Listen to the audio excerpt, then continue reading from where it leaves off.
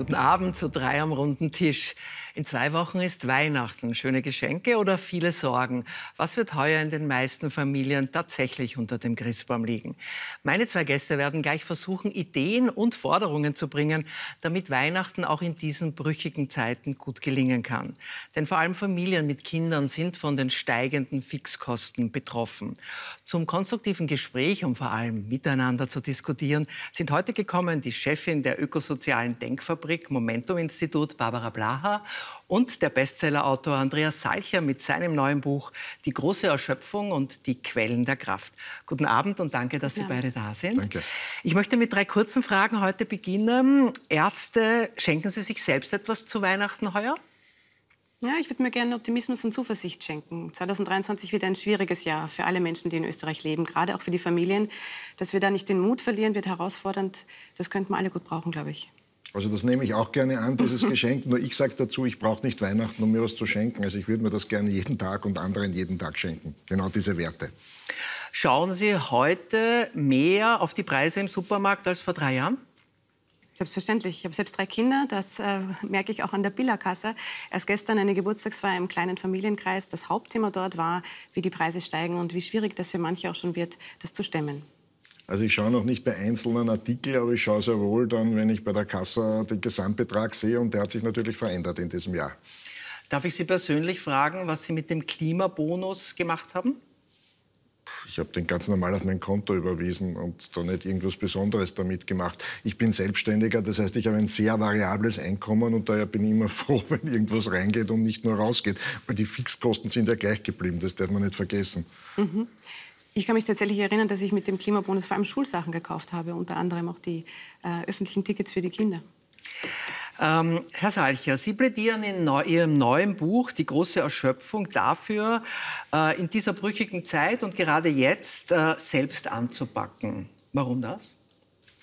Wenn ich das kurz am Rand des Covers, wo wir uns was überlegt haben. Man sieht hier einen dunklen schwarzen Stein, das symbolisiert sozusagen die Zusammenballung der Krisen der letzten Jahre. Also ich brauche das jetzt nicht alles aufzählen mit Corona, Lockdown auf, Lockdown zu, Einmarsch des Putins, Preissteigerung und so weiter. Und darunter ist ein Ei. Und das Ei symbolisiert die Zerbrechlichkeit des Menschen. Aber was ganz wichtig ist, der Mensch kann zerbrechen, aber er muss nicht zerbrechen. Und mir geht es in diesem Buch sehr darum, bestimmte Strategien zu zeigen, wo der Einzelne auch in schwierigen Zeiten Verantwortung für sein Leben übernehmen kann. Wenn man sich Studien zur Glücksforschung, ich habe das Glück, dass ich den äh, Mihai Csikszentmihalyi, den wichtigsten Glücksforscher der Welt, sehr gut gekannt mhm. habe. Und Csikszentmihalyi sagt, er weiß, dass bei vielen Menschen das Wort Selbstverantwortung einen Reflex auslöst, einen negativen, äh, das ist, wie soll ich das machen und mir geht so schlecht und alle anderen sind schuld. Er sagt, die wissenschaftlichen Daten sind eindeutig. Sie sagen, es gibt ein Muster, das unterscheidet Menschen, die unter schwierigen Bedingungen ihr Leben trotzdem in den Griff mhm. kriegen, von solchen, die das nicht schaffen. Das Prinzip muss ich nur noch verraten, das heißt nämlich, Selbstverantwortung statt Schuldzuweisung. Ich würde meinen, Selbstverantwortung ist ein ganz wichtiger Wert. Ich sehe auch tatsächlich in meinem persönlichen Umfeld und rundherum in Österreich, dass die aller, aller, aller, allermeisten Menschen mit ganz hoher Selbstverantwortung unterwegs sind. Sie haben ein paar Krisen angesprochen. Denken wir an Corona. Denken wir an diese Zeit des äh, ersten Lockdowns, wo man nicht genau gewusst hat, was macht Corona mit uns, wie gefährlich ist das. Hunderttausende Menschen sind trotzdem jeden Tag in die Arbeit gegangen und haben dafür gesorgt, dass dieses Land am Laufen bleibt. Ähm, Ähnliches sehe ich, wenn ich zum Beispiel an die Mütter in diesem Land denke, die wirklich zwei Jahre über ihre Grenzen gegangen sind, um nicht nur sagen, im Job zu funktionieren, sondern für ihre Kinder da zu sein, den Haushalt zu schupfen und auf einmal quasi nicht einen Job hatten, sondern 15 Jobs in dieser schwierigen Zeit. Also Menschen sind extrem selbstverantwortlich. Äh, ihnen zu unterstellen, sie seien es nicht, finde ich immer ein bisschen schwierig. Und die andere Geschichte, die mir ganz wichtig ist, ist, Jetzt gerade in der aktuellen Krise, der akuten Teuerungskrise, da kommen wir jetzt in Umstände, für die der Einzelne oder die Einzelne ja nichts kann. Wir haben jetzt neue Daten, wo wir klar sehen, gerade bei den Familien, Familien mit zwei Kindern, 40 Prozent, vier von zehn Familien sind armutsgefährdet. Jetzt kann man natürlich sagen, seid ein bisschen selbstverantwortlich. Gleichzeitig sehe ich, die strecken sich nach der Decke, ähm, die bemühen sich irgendwie am Ende des Monats noch ein Essen auf den Tisch zu stellen. Also denen auszurichten, ihr seid nicht selbstverantwortlich genug, finde ich ein bisschen schwierig, sage ich Ihnen ehrlich. Es gibt, einige, es gibt einige Hilfspakete, die ja schon auf dem Weg sind, äh, vom Bund und Ländern, äh, jetzt auch in der Vorweihnachtszeit. Ist das äh, zu wenig? Ist es genug? Ich wollte nur sagen, ich richte den Menschen nicht aus, dass sie zu wenig selbstverantwortlich sind. Mhm. Ich sage nur, die These, die wissenschaftlich ganz klar ist, Und was man damit macht, der Einzelne, das ist immer die Entscheidung des Herr Einzelnen. Mein zu wenig oder Dialog. genug? Äh, Wir sind jetzt schon beim nächsten Punkt. Einige Hilfspakete von Bund und Ländern. Ist es genug oder ist es zu wenig? Ja, der Frau Blau ist sicher zu wenig, nehme ich an.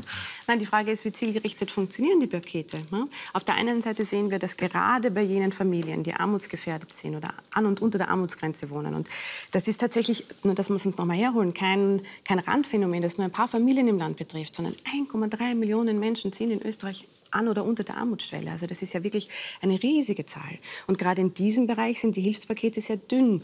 Das heißt, da gibt es natürlich Einmalzahlungen, aber die Miete ist jedes Monat teurer, die Stromrechnung ist jedes Monat teurer, die Gasrechnung kommt jetzt dann mit der Nachzahlung im Frühjahr. Das wird ganz bitter für viele Familien. Da finde ich, muss dringend nachgebessert werden. Da würde ich mir wünschen, dass wir dort, wo es dringend notwendig ist, die Leute auffangen. Und da, wo es nicht notwendig ist, also ein Klimabonus nehme ich an, Herr Salcher, war vielleicht bei Ihnen gar nicht so dringend notwendig, dass wir da wirklich genau hinschauen, wie wir die Pakete auch sozial gerecht schüren.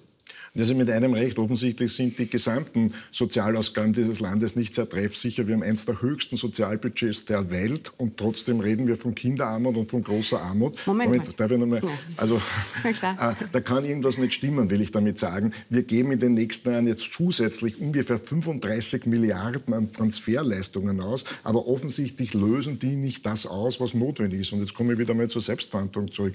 Wenn Sie mich fragen, also es ist unumstritten, dass man das braucht, aber das Zweite, was der Staat viel stärker machen müsste, ist Menschen auf derartige Krisen vorzubereiten. Was heißt das? Wenn jedes fünfte, 15-jährige Kind in dem nicht, Land nicht sinnerfassend lesen kann, na, dann wird es in Krisenzeiten es noch schwieriger haben, einen Arbeitsplatz zu finden. Wenn Menschen in der Schule nicht lernen, was es bedeutet, wenn man Konsumgüter auf Kredit kauft oder wenn man das Bankkonto regelmäßig überzieht, weil es an Wirtschaftsbildung, an Finanzbildung fehlt, dann sind diese Menschen in der Krise besonders betroffen. Oder der Gesundheitsaspekt. Wir haben mit Kindern zu kämpfen, die ungemeines Übergewicht haben. Das ist eine potenzielle Gefahr für unser Gesundheitssystem. Das heißt, man muss zwei Dinge tun. Man muss auf der einen Seite, da bin ich bei Ihnen, treffsicher dort unterstützen, was die Menschen brauchen. Aber das Zweite ist, man muss Menschen auch auf Krisen vorbereiten, weil das Krisen nichts Natur, also dass Krisen quasi nicht ganz aus der Welt zu schaffen sind und vom Staat nicht ganz abgeschafft werden können, das wissen wir auch. Das muss Menschen darauf drum- vorbereiten. geht es gar nicht darum, dass der Staat irgendwas äh, total verhindern oder abschaffen kann. Aber weil Sie ansprechen, wir haben hohe Sozialausgaben. Das ist vollkommen richtig, da stimme ich ja durchaus überein. Aber das Besondere ist ja, was wir auch sehen an den Sozialausgaben, die heben ja jedes Jahr eine Million Menschen über die Armutsschwelle. Also so zu tun, als wäre das nicht äh, sinnvoll, finde ich tatsächlich zynisch. Wir haben das Problem, dass unser Sozialstaat nicht dicht genug gestrickt ist. Eine Million Menschen erwischen wir damit. 1,3 Millionen Menschen erwischen wir damit Nicht, nicht. nicht dicht genug gestrickt? Nein, Entschuldigung, wenn wir eines der höchsten Sozialbudgets der Welt haben, wenn wir Frühpensionierungsweltmeister sind, wenn wir eine sehr hohe Staatsquote haben, dann kann ich ja nicht sagen, dass das Netz nicht dicht gestrickt Aber ist. die, wenn 1,3 Millionen Menschen an und unter der Armutsschwelle leben, dann ist das Netz nicht dicht genug gestrickt. Oder wollen Sie man einer, definiert. einer, ich definiere das zum Beispiel anhand der Grenze der Armutsschwelle. Die liegt in Österreich unter 1.400 Euro netto im Monat. Und wenn ich weiß, dass die Pensionisten und Pensionistinnen dieses Landes, wenn sie denn Frauen sind, diese Grenze nicht erreichen, obwohl die ihr ganzes Leben lang gearbeitet haben, dann muss ich klar sagen, funktioniert manches im Sozialstaat nicht. Ja, Wichtig ja wäre ja doch... Wir waren Ja, jetzt eben. gerade auch bei der Bildung zuerst. Äh, Andreas Salcher hat ja vor schon einigen Jahren ein Buch über Bildung auch geschrieben und ist Mitbegründer der Sir, Sir Karl Popper Schule für Hochbegabte. Bildung, Bildung, Bildung. Sollen die Bildungsmöglichkeiten äh, unter den Christbaum gelegt werden? Hat Österreich ein Bildungsdefizit? Wir haben das zweiteuerste Bildungssystem der Welt mit dem Ergebnis, dass eben jeder fünfte, 15-Jährige nicht sinnerfassend lesen kann. Und das ist nicht nur eine wirtschaftliche Kompetenz, sondern ich bin auch ein Humanist. Das hat ja eine humanistische Komponente. Wenn Menschen mit 15 Jahren nicht sinnerfassend lesen können, geschweige denn komplexe Texte lesen können, ist die Wahrscheinlichkeit, dass es mit 19, 20 äh, können, sehr, sehr gering. Und einer der wichtigsten Faktoren, um im Leben glücklich zu sein, ist sein Talent zu erkennen, sein Talent ausüben zu können. Und das halte ich ehrlich gesagt für ein Verbrechen der nächsten Generation, dass wir nicht ein Schulsystem, also ich habe überhaupt nichts dagegen, dass wir das zweiteuerste Schulsystem der Welt haben. Von mir aus können wir das teuerste haben, aber es soll dann auch das Beste sein. Und das ist es nachweisbar nicht. Sie sagen gerade sehr richtig, dass doch das äh, Wichtige im Leben ist, dass man sein Talent äh, erkennt und es ausüben kann. Und da würde ich sagen, unser Problem im Bildungssystem ist doch, dass ich schon bei der Geburt des Kindes weiß, welchen Bildungsabschluss es machen wird.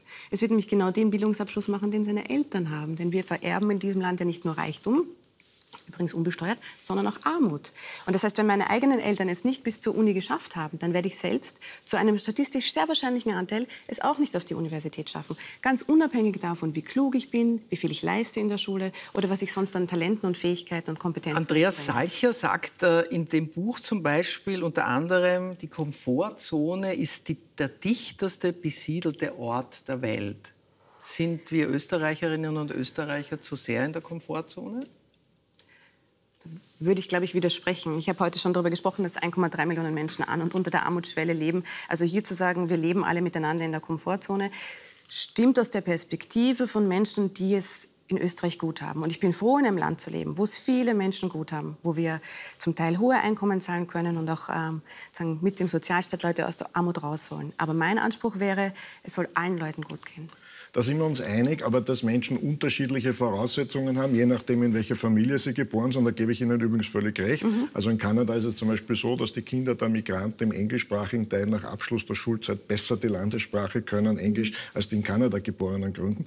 Aber da muss man dazu sagen, das ist ja ganz interessant, dass egal welche Farbe der Bildungsminister in den letzten 30 Jahren hatte, an diesen Tatsachen, dass Bildung bei uns vererbt wird und die OECD, da werden wir uns ja einig sein, kritisiert das ja zu Recht. Übrigens, ich sage Ihnen auch, wo man es lösen kann. Man setzt bei uns völlig falsch mit dieser ideologisch aufgeladenen Gesamtschuldebatte an. Lösen könnte man es in den Kindergärten. Das sagen alle Studien, wo man mit einem geringen Aufwand soziale Nachteile, Sprachnachteile kompensiert könnte. Wir zahlen unsere Kindergartenpädagoginnen sehr schlecht, deswegen wechseln sie den Beruf. Sie haben ein geringes Ansehen. Das sind eigentlich Ding, die Dinge, wo der Staat den Menschen helfen könnte, in die Selbstverantwortung und in die Selbstbestimmung hineinzukommen. Und darum geht es mir. Es gibt zwei Aspekte. Das eine ist, was kann der Staat tun, Menschen dabei zu unterstützen, ein glücklicheres Leben und selbstbestimmteres Leben Leben zu machen und was kann der Einzelne machen, aber unabhängig in welche Schicht er hineinkommt. Wir sind beide nicht aus Akademikerhaushalten und haben trotzdem ein Studium absolviert. Offensichtlich hängt es auch ein bisschen mit unserer Selbstdisziplin, mit unserer Lebenseinstellung ah, das zusammen. Das ist ein guter Punkt. Ich weiß, das ist mir schon öfter passiert, dass man meine eigene Biografie hernimmt und sagt, na schau her, du bist doch der Beweis dafür, dass es funktioniert. Ich habe auch meine hergenommen. Genau, oder eben auch Ihre Biografie. Aber ich finde, das äh, versteckt die Tatsache, dass es mit Zufall und Glück zu tun hat. Und wenn wir das negieren und sagen, es hat nur mit unseren Leistungen mhm. zu tun, dann richtet das allen anderen, die aus derselben Schicht kommen oder aus denselben Machen Sie sich da aber nicht selber klein, wenn Sie sagen, äh, dass Ihre Biografie, Ihr beruflicher Werdegang tatsächlich nur mit Zufall und Glück zu tun hat? Nein, das macht mich, mich selber macht mich überhaupt nicht klein. Mein, mein, äh, meine Biografie ohne Zufall und Glück hätte nicht funktioniert. Meine Biografie ohne meine Kompetenzen, Fähigkeiten und Leistungen hätte auch nicht funktioniert. Aber Ehrgeiz, dranbleiben. Ja, aber es musste beides zusammenkommen. Und wäre ich in einer anderen Schicht geboren worden, hätte nicht beides zusammenkommen müssen. Da hätte meine Geburt und meine gute Herkunft gereicht. Aber ich will nur sagen, der Einzelne kann trotzdem, wenn er Selbstdisziplin hat, wenn er engagiert ist, und ich gebe mit einem recht, wenn man einen Mentor in der entscheidenden Situation in seinem Leben hat, das kann ein Lehrer sein, das kann eine Familie sein, das kann ein Wildfremder sein. Deswegen bin ich auch ein Mensch, der selber Mentoring mit anderen macht und immer das Glück hatte, in meinem Leben Mentoren zu haben. Wenn das alles nicht der Fall ist und man ist in eine schwierige Familie, dann wird es sehr, sehr schwierig. Da gebe ich Ihnen schon recht. Ich habe das Buch natürlich auch gelesen. Wir also wir zwei haben es gelesen, Sie haben es geschrieben. ich habe etwas gelernt äh, beim Lesen des Buches, ähm, das Nein sagen. Mhm. Äh, es gibt ein ganzes Kapitel drin. Wir alle müssen das Nein sagen lernen. Das heißt, äh, Nein sagen soll unter den Christbaum. Gute Idee, Frau Blaha? Nein sagen wäre eine gute Idee, gerade für die Frauen dieses Landes. Da sehen wir eine gewisse Allzeitzuständigkeit. Frauen fangen zu viel in diesem Land auf, gerade wenn wir uns anschauen, die Tätigkeiten in der Familie. Ne? Es ist immer klar, es ist die Mutter, die weiß, wann ist der nächste Kinderarzttermin. Es ist immer klar, es ist die Mutter, die weiß, welche Schuhgröße hat das Kind. Und es ist die Mutter, die dem Kleinkind die Nägel schneidet. Also da haben wir ein Thema in der Verteilung der Arbeit in der Familie. Und da würde ich mir natürlich wünschen, dass wir hin zu mehr Gleichberechtigung kommen. Das wird aber nicht gelingen. Die einzelne Frau kann nicht Nein sagen, wenn wir nicht gleichzeitig die Rahmenbedingungen schaffen, die sie ermöglichen. Sie haben die Kindergärten ja schon angesprochen, da sind wir ja total einer Meinung. Ohne Kindergartenplätze, die mit zum Beispiel mit einem Vollzeitjob vereinbar sind, werden die Frauen aus dieser Teilzeitfalle gar nicht rauskommen können. Aber sind wir Frauen vielleicht auch manchmal schuld, dass wir einfach ähm, aus Gewohnheit, aus Pflichtgefühl, aus Liebe zu den Kindern einfach auch alles machen und nicht delegieren gelernt haben? Ich habe dem einen großen Raum gewidmet und meine weiblichen Leserinnen und meine äh, weiblichen Therapeutenfreunde haben gesagt, gibt ihnen ein Riesenthema. Da haben sie schon recht, das, und deswegen schreibe ich es auch, mhm. falsche Rollenvorbilder. Aber was können wir alle tun? Und das ist mir, ein, Nein ist aus meiner Sicht eines der wichtigsten, machtvollsten Worte gegen Erschöpfung in Zeiten wie diesen. Sich bei all dem, was auf uns hereinströmt, fragen, muss ich es tun und zweitens will ich es tun. Und wenn ich zweimal Nein sage, dann sollte ich es auch nicht tun. Aber genauso wichtig wie das Wort Nein ist auch das Wort Ja. Das heißt Ja zu den Dingen, die meinem Leben Freude machen. Weil wenn ich zu den falschen Dingen Nein sage, dann komme ich im Leben nie dazu zu den Dingen, die mir eigentlich Freude machen. Das heißt, auch Ja ist ein wichtiges Wort und zwar ein echtes Ja. Und das vielleicht ist übrigens das Nein der Feiglinge, das schreibe ich auch. Herr Salcher, ist es nicht eine extrem luxuriöse Position zu sagen, äh, man muss sich fragen, will ich es tun und dann kann ich auch Nein sagen. Es gibt so viele Menschen in dem Land, die mir zum Beispiel dann hin und wieder schreiben. Ich denke, letztens hat mich ein E-Mail erreicht von einer Pflegerin, die ihren Job wirklich, wirklich, wirklich liebt. Und die sagt, ich mache den mit Herz und mit Seele und mit ganzer Leidenschaft und das länger als 15 Jahre. Und ich weiß aber, es wird der Tag kommen und er wird bald kommen, wo ich hinschmeiß, weil ich es nicht mehr tragen kann. Und ich halte durch, weil ich momentan einfach auch aufs Geld angewiesen bin. Also die, die sehr luxuriöse Position zu sagen, mache ich nicht mehr, geht sich halt für ganz, ganz viele Menschen auch nicht aus, wenn klar ist, es gibt kein Sicherheitspolster, es gibt kein Erbe, auf das noch kommt, man wohnt nicht im Eigentum. Sie haben aber eine Sondern Frage ausgelassen. Ich sage zwei Fragen. Muss ich es tun? Und manche Dinge muss man tun mhm. im Leben. Und das zweite ist, will ich tun? Aber was ich nur sage, wir tun viele Dinge in unserem Leben, die wir weder tun müssen noch tun wollen und kommen viel zu wenig um, zu den Dingen, die uns eigentlich Freude machen, die das Leben eigentlich ausmachen. Das ist der Punkt. Ich habe ja auch diese Müttergenesungsklinik. Das war übrigens einer der Gründe, warum ich das Buch geschrieben habe. Das hat mich so berührt, das war eine Spiegelgeschichte, dass Mütter, die so völlig fertig waren, dass sie ihr Leben überhaupt nicht mehr geschafft haben. In Deutschland gibt es 17 solche solche Kliniken, wo die ohne ihre Kinder quasi eingeliefert werden und mit ganz normalen Achtsamkeitsübungen, Gesprächsrunden überhaupt wieder lebensfähig. Und das hat mich sehr, sehr berührt, weil dort dieses Wort Erschöpfung gekommen ist. Ja? Also das ist schon klar, dass es viele Menschen gibt, deswegen sage ich das auch, mhm. die durch die Zusammenballung der Krisen und auch solche Menschen, die mit dem Leben bisher gut zu räumen, einfach nicht mehr in der Lage sind, da rauszukommen. Nur zu sagen, das ist alles furchtbar, ist mir zu wenig, sondern zu sagen, na, genau, aber zu sagen, es gibt auch bestimmte Kraftquellen, die den Menschen zur Verfügung stehen und ich mache nicht mehr,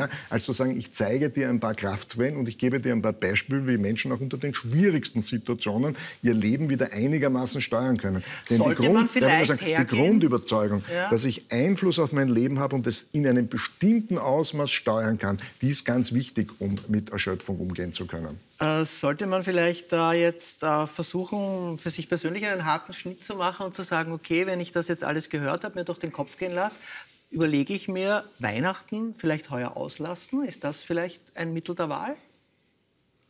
Ob man Weihnachten feiern möchte, ist, finde ich, jedem selbst überlassen und ganz, eine ganz, ganz äh, private Entscheidung. Und auch hier sind wir wieder in der Frage von, also ich glaube, mir machen mehr die Menschen Sorgen, die jetzt unter dem Druck stehen, dass sie wissen, sie bringen zu Weihnachten vielleicht keinen Christbaum daher, weil sie sich den eigentlich nicht mehr leisten können. Mir machen die Familien Sorgen, wo die Mutter jetzt schon schlaflose Nächte hat, weil sie sich denkt, wie soll ich denn das Familienessen finanzieren? Ich habe doch jetzt gar keine Kohle mehr, um überhaupt diesen schönen Braten äh, auf den Tisch stellen zu können. Mir machen die Familien Sorgen, die sagen, ich kann die Wohnung nicht mehr warm halten und meine Kinder gehen im Pullover schlafen. 100.000 tausenden Familien in Österreich geht es derzeit so. Also die, Haben Sie da ein Rezept? Das Haben Sie, sollen sich die auch das Buch kaufen oder ist das Buch da Also in meinem Buch gibt es prinzipiell keine Rezepte, sondern es gibt ein Angebot, bestimmte Dinge miteinander selber zu diskutieren. Und in jedem in dem Buch sind viele Sätze, die Menschen sozusagen in die Betroffenheit bringen. Aber zur Weihnachtsfrage, na, zu bestimmten Dingen kann man sehr wohl Nein sagen. Also wenn du einen Rat hören willst, wie man wirklich so tief in die Erschöpfung rein kann, letzter Weihnachtssamstag vor Weihnachten, Shopping City oder irgendein Weihnachtszentrum, wo Menschen quasi bürgerkriegsähnliche Zustände erleben. Und man muss auch nicht jedes Jahr die ungeliebten Verwandten besuchen, die einem auf die Nerven gehen, denen man auf die Nerven geht. All das sind Dinge im Kleinen, die aber in Summe ermöglichen, dass ich eine größere Wahlmöglichkeit für die Dinge habe, die mir Freude machen im Leben. Und mir ist schon ein wichtig, eins zu sagen, egal in welcher Schicht man hineingeboren ist, man kann sehr wohl Dinge finden, für die man dankbar sein kann und für die man Freude im Leben haben kann. Und um das geht es ja letzten am Ende des Tages, dass man Dankbarkeit und hat, dass man Freude im Leben empfinden kann. Die AK-Präsidentin äh, Anderl hat diese Woche äh, wieder einmal vorgeschlagen, sage ich dazu, wieder einmal ähm, Einführung der Vermögens- und Erbschaftssteuer. Gute Idee? Das ist ja eine Forderung, die schon sehr lange am Tisch liegt. Äh, gleichzeitig, wir sehen, in der Krise wird es eng. Wir sehen, wir brauchen ähm, einfach auch Geld, um sozial treffsicher. Wir hatten das Thema schon, jene Familien aufzufangen, wo es wirklich ganz knapp wird und wo wir die Leute... Gute oder schlechte Idee? Erbschaftssteuer oder Über die Grenze schieben natürlich ja. eine gute Idee. Und generell oder ab einem gewissen Betrag der Erbschaft? Ich würde das genauso gestalten, wie wir es ja vom Einkommen auch kennen. Wer wenig verdient, zahlt wenig Einkommensteuer. Wer wenig erbt, soll wenig oder keine Erbschaftssteuer zahlen. Keine oder wenig? Ich würde auf jeden Fall mit Freigrenzen arbeiten. Ja, also bringt die Vermögensteuer nachgewiesenermaßen wenig, aber zweitens sind wir ein Hochsteuerland, was hier gerne verschwiegen wird. Also jede zusätzliche Steuer ist meiner Meinung nach abzulehnen. Und das, wo wir vielleicht einen Konsens finden können, was ich auch falsch finde, ist, dass äh, Internetkonzerne, Digitalkonzerne, die sehr, sehr viel Geld auf der Welt und auch in Österreich machen, dass die ein, ein, eine Steuer zahlen, die weit unter dem ist, was wir beide zahlen. Da werden wir vielleicht einen Konsens finden. Die gehören tatsächlich besteuert. Hm. Ähm, Sie haben es zuerst angesprochen, es wird ein hartes Jahr, das 2023er Jahr. Ähm, muss äh, viel klarer auch von Politikerinnen und von Politikern gesagt werden, ähm, es ist die Krise wirklich im Mittelstand angekommen.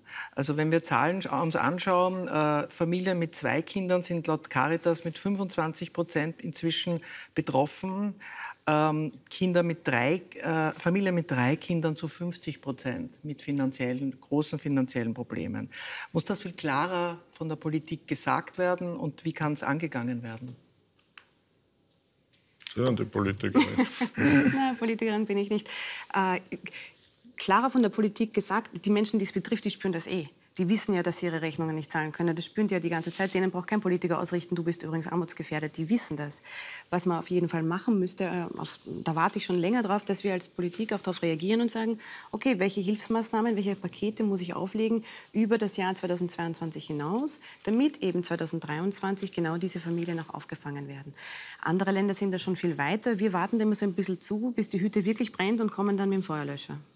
Ja, also ich glaube auch nicht, dass die Politik irgendwas auffahren muss. Ich glaube auch auf der anderen Seite, dass der Mensch aufhören muss, ununterbrochen unrealistische Anforderungen an die Politik zu stellen. So, da, da, da gibt es einen schönen Satz, man kann versuchen, die Welt verändern oder sich selbst zu verändern. Das Zweite ist das Schwierigere. Ich glaube eben auch, dass man dieser, dieser Nanny-Staat, wo man sagt, egal was dir passiert, wir decken es dir ab und wir machen noch ein Hilfspaket und noch ein Hilfspaket. Die Skandinavier sind ja lange diesen Weg gegangen, haben aber mittlerweile eine große Umkehr gemacht. Die Steuerquote in Schweden Schweden ist wesentlich geringer als in Österreich. Die Menschen arbeiten länger und sind deshalb nicht unglücklich, sondern im Gegensatz, sie sind gesünder. Also ich glaube, immer nur zu sagen, der Staat soll noch mehr und noch mehr, das wird sich irgendwann einmal nicht mehr ausgehen. Aber da müssen wir genau hinschauen, was denn der Staat denn dort dann zum Beispiel gewährleistet. Und wenn ich mir anschaue, wie die Kinderbetreuungseinrichtungen oder auch die Schulen in Skandinavien hergerichtet sind, dann schaut das ganz anders aus. Da sind wir uns einig. Ne? Also ich kann einer Frau halt nicht ausrichten, du, nenn Stadt gibt es kann, aber ja gleichzeitig keinen Kindergarten hinbauen. Also dann wird die halt nur Teilzeit arbeiten können ja. und wird eine, aber das sage ich ja, der Staat gibt ja das Geld für die falschen Dinge aus. Wir müssten viel mehr Geld in die, in die Prävention, sprich im Gesundheitsbereich, riesengroß. Es gibt, damit Sie sehen, ich habe durchaus auch Kontakt zu prekären Gruppen. Ich habe Freunde, die arbeiten in der Zahnambulanz. Sie sagen, es kommen zehnjährige Kinder, die noch nie in ihrem Leben Zähne geputzt haben, denen die verfaulten Zähne rausfallen.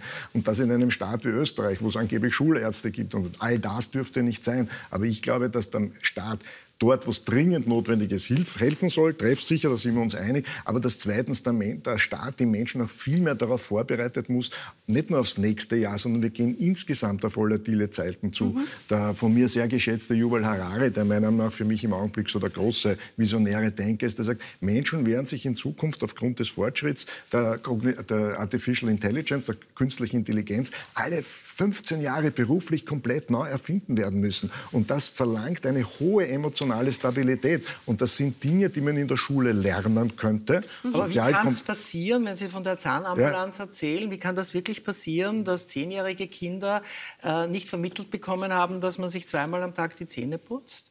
Da gibt es viele Gründe, aber es gibt einfach bestimmte gesellschaftliche Subgruppen, die nie irgendwie, deswegen wäre ich ja auch sehr dafür, den Mutter-Kind-Pass, den ursprünglichen auszubauen, auszuweiten und Sozialleistungen viel stärker auch an die Eigenverantwortung, an die Mitwirkung zu haben. Wir haben Schulen in Österreich, da erzählen wir die Direktoren, äh, dass die Eltern einfach überhaupt nicht kommen, wenn der Direktor sie vorlädt, nicht darauf reagieren. Wir haben es erlebt in der Pandemie, wo Kinder unter Anführungszeichen verschwunden sind und überhaupt für das Schulsystem nicht mehr greifbar waren. Und da tun wir wieder so, als hätte das nicht auch mit den, äh, mit den ökonomischen Verhältnissen zu tun. Also da gibt es ja einen klaren Zusammenhang. Wenn ich als also ich glaube ganz sicher, dass die allermeisten Eltern das Beste für ihr Kind wollen. Aber, Aber sorry, halt eine, eine, eine, Zahnbürste und eine Zahnpasta ist nicht so teuer. Das da schaut je nach Einkommensgruppe anders aus. Für die einen heißt das Chinesischunterricht und Babyschwimmen und Mandarinkurs. Für die anderen heißt das, ich mache noch die Wochenendschicht, weil die Kinder brauchen Winterschuhe. Ja, das hat mit dem Zähneputzen und nichts zu tun.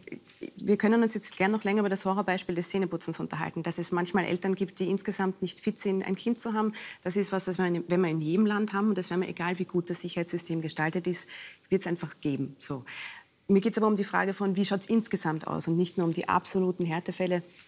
Wo ja klar ist, dass da normalerweise auch das Jugendamt etc. einschreitet. Also ist ja nicht so, als gäbe es da nicht auch Stellen, die, die da ein bisschen Aber schauen. Ja? Sie definieren das ganze Leben nur ein bisschen im Klassenkampf quasi. Da gibt es die großen Unterdrücker und da gibt es die armen, geknechteten, ausgebeuteten. Da Ja? Das, kommt in, so, in naja, aber das kommt so immer wieder heraus. Sie definieren alles aufgrund der sozialökonomischen Verhältnisse. Die spielen eine Rolle, das wird Ihnen niemand abstreiten, aber dass der einzelne Mensch ob er studiert, was er aus seinem Leben macht, ob er liebensfähige Beziehungen aufbaut, ob er Verantwortung für seine Familie übernimmt, dass das sehr wohl auch einen hohen individuellen Fakt hat, das kann man auch nicht abstreiten. Das beweisen ja alle Studien, die sich mit diesen Themen auseinandersetzen. Aber dann Und mir geht es um beides. Mir geht es um den individuellen. Und mein Buch, gebe ich Ihnen recht, ist kein politisches Buch. Wir diskutieren in Politik. Wir diskutieren tatsächlich. Äh, Wir, wir diskutieren politisch, aber mein. Buch, ist, mein Buch ist kein Buch zur Weltverbesserung, mein Buch ist ein Buch Lassen wir zur jetzt einmal das Buch weg. Selbstverbesserung. Lassen wir jetzt einmal kurz das Buch weg. Was mich jetzt interessiert, äh, Frau Blaha, können Sie das, was der Herr Salcher jetzt gesagt hat, nehmen, dass Sie vielleicht manchmal zu sehr im Klassenkampf sind?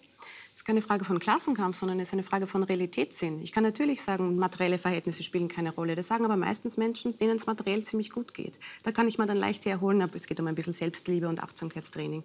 Wenn ich drei Jobs mache, damit ich irgendwie ein Essen am Tisch stelle, wird mir für Achtsamkeitstraining wahrscheinlich der Nerv fehlen. Entschuldigung, da liegen Sie einfach komplett falsch. Ich habe Leserinnen, denen, die genau aus den Zielgruppen kommen. Meine Leser sind nicht die Universitätsprofessoren, das sind einfache Menschen zum Großteil, die genau diese kleine Dankbarkeit, diese kleine Achtsamkeit, dieses sich kleine erfreuen an den Dingen des Lebens, ihren Kindern eine kleine Freude zu machen, mit Wertschätzung, mit sozialer Wärme, das sind genau die Menschen, die das tun. Ich will ja nicht sagen, dass die ökonomischen Verhältnisse keine Rolle spielen, aber zu sagen, der Mensch ist völlig determiniert von der Geburt und von seinen ökonomischen Verhältnissen, dagegen wehre ich mich. Das habe ich weder Ihnen unterstellt, noch habe ich das formuliert. Ich sage nur, und ich glaube, da haben wir einfach einen unterschiedlichen Blick auf die Welt. Wie groß oder wie relevant ist der Faktor? Da haben wir unterschiedliche Einschätzungen.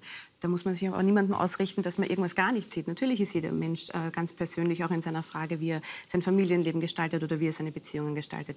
Meine Frage ist aber, und das unterscheidet uns beide halt schon, mein Zugang ist immer zu schauen, ich möchte, dass alle Menschen die Chancen haben, ihre Beziehungen tragfähig zu gestalten, ihren Kindern die besten Möglichkeiten zu geben und ein wundervolles und gelungenes Leben zu führen. Und ein großer Faktor, das es da viel schwerer macht, ist die ökonomische Situation, wenn ich einfach kein Geld habe. Und da schaue Ja, ich hin. Ja? Also es gibt ein großer Unterschied zwischen, ich meine, da sind wir uns unterschiedlich, ist ja gut, wir diskutieren ja oft miteinander. Es gibt die Chancengleichheit zu fordern, alle Menschen sollen unabhängig von ihren sozialen Bedingungen, von ihren genetischen Voraussetzungen die gleiche Chance. Das halte ich für eine Riesenillusion. eine Und die zweite Möglichkeit ist Chancengerechtigkeit. Das heißt, wie weit ist der Staat in der Lage, vor allem über gute Kindergärten, über gute Volksschulen, über gute Schulen, die sozialen Nachteile, die es bei der Geburt gibt, ein bisschen zu kompensieren. In Österreich verstärken wir sie, da bin ich ganz bei Ihnen. Aber man kann es kompensieren oder gibt es Länder, die das besser tun. Und das führt dazu, dass dann auch Menschen aus schwierigeren sozialen Situationen, wenn sie resilienter sind, wenn sie besser mit Geld umgehen können, wenn sie besser soziale Beziehungen knüpfen können,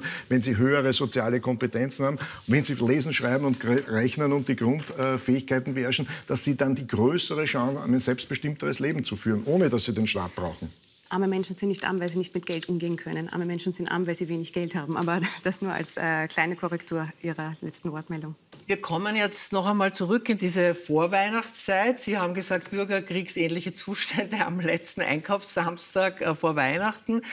Sie sagen, viele Leute wissen eben gar nicht, wie sie dieses Weihnachten für ihre Kinder heuer gestalten werden. Wenn wir jetzt kurz äh, versuchen, adventmäßig, ja, vielleicht auch kurz zu träumen, wenn Sie zwei Tage geschenkt bekommen würden, jetzt zusätzlich im Advent, was würden Sie beide da damit machen?